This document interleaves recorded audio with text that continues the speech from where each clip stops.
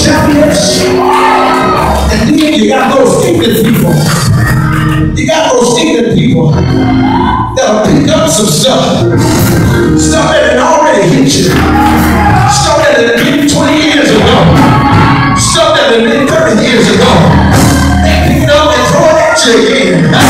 But I come to let you know that there's a mist in the rain that keeps it settled, that keeps it centered,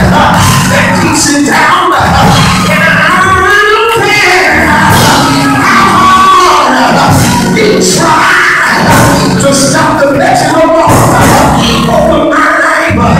Can somebody close the blinds for me?